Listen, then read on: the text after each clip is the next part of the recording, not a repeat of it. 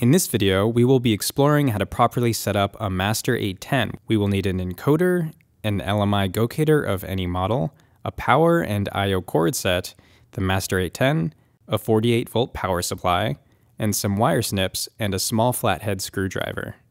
Let's begin by removing the two Phoenix connectors from the back of the Master 810, one for power and safety, and one for the encoder.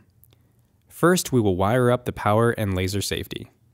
From left to right on the Phoenix connector, the pinout is as follows. After wiring the connector, this can now be plugged into the back of the Master 810. Next, we will be wiring our differential 5V encoder into the back of the Master. The Master 810 supports many different types of encoders. All supported types can be found at the link below, and also in the video description. The encoder that I have today is an RS45 differential 5V encoder. For this encoder type, we will wire it in the following manner. Depending on the encoder type, it may need to be wired differently.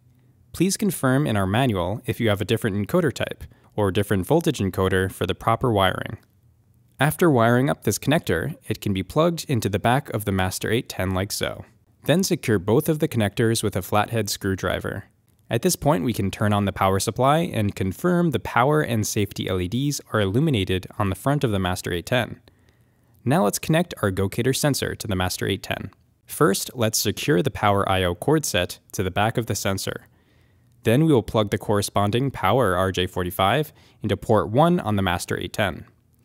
We now can confirm the power and laser LEDs on the back of the Gocator are now illuminated.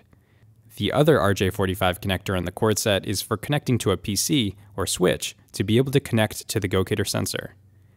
After we have connected the Ethernet cable, we can now load up our sensor web interface. We will want to ensure we have connected our encoder properly. We can ensure that the encoder value is changing within the Health tab of GoPxL. Spin the encoder wheel and monitor that this value is changing accordingly. After verifying our encoder, it is safe to say that we have hooked everything up correctly.